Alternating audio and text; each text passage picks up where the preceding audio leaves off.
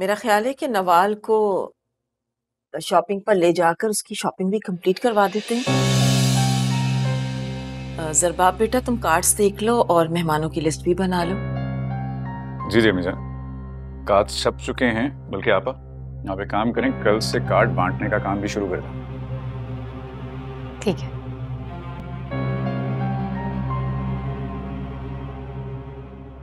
غریب کو دکھائے تھے۔ جی بابا۔ اس کے اپروول کے بعد ہی تو فائنل کیا ڈیزائن اچھا تو تم ایسا کرو کہ باقی انتظامات بھی دیکھ لو۔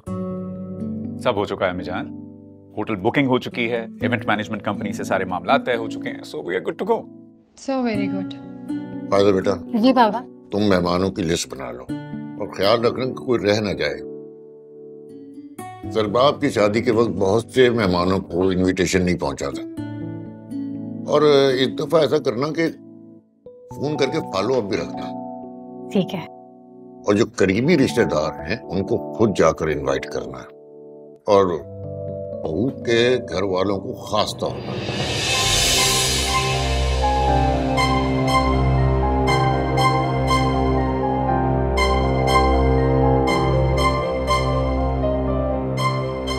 آ، کرن کے گھر تو میں اور میری بیٹیاں نہیں جائیں گی۔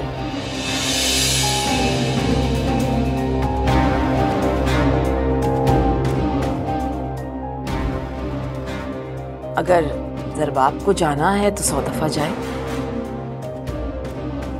آپ کو اگر پورے خاندان کو بھی انوائٹ کرنا ہے تو مجھے کوئی اعتراض نہیں ہے۔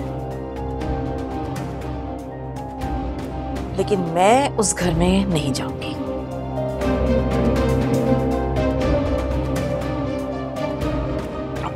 میں نے جو کہنا تھا کہہ دیا۔ سو کیا امی۔ زرباب کارڈ دے آئے گا۔ زرباب۔ کرن کے گھر والوں کو تمام فنکشن سے بلا لینا۔ اور اجالا اور اس کی بہن کو ضرور انوائٹ کر لینا۔ اور ہاں کہ گھر والوں کے لیے کنوینس کا ضرور بندوبست کر لینا۔ کیسے رکشا ٹیکسی میں آئیں گے؟ ہماری تو ناک ہی کٹ جائے گی سب کے سامنے۔ اتنے گئے گزرے نہیں ہیں میرے گھر والے؟ کہ رکشے میں بیٹھ کر آئیں گے۔ اچھا پھر اور کیسے آئیں گے؟ وہ جو لاٹری کی رقم تھی وہ تو ختم ہو گئی۔ وہ کرائے کی تمام گاڑیاں وہ تو ساری واپس آ چکی ہیں نا۔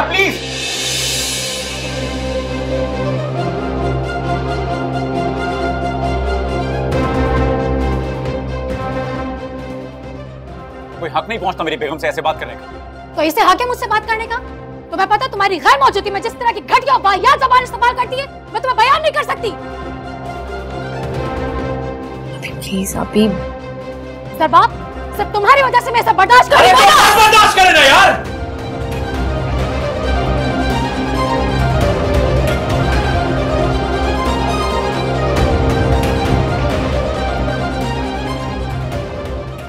اتنا مشکل ہو رہا ہے تو ایک ٹیبل پر بیٹھ کے کھانا بھی مت کھایا کریں آپ۔ سوری بابو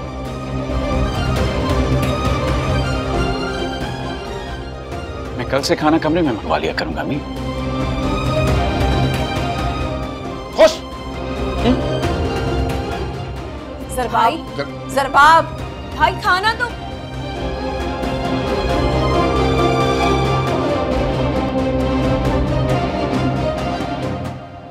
بس۔ اب مل گئی آپ لوگوں کو خوشی۔ مل سکون